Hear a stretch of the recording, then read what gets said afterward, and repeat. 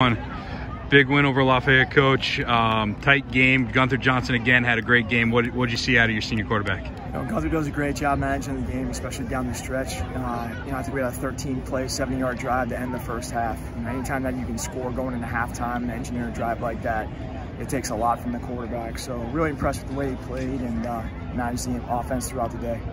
Uh, defense, you know, only 10 points allowed, a couple big interceptions, and a great big stop at the end of the game again.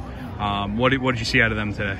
It's what I expect. You know, we will always put it on the back of our defense at end of games, and um, you know, came up with some big plays. Had some guys step up that haven't played a lot uh, throughout the year, and you know, really looking forward to what Coach uh, Doherty continues to put together with this defensive crew.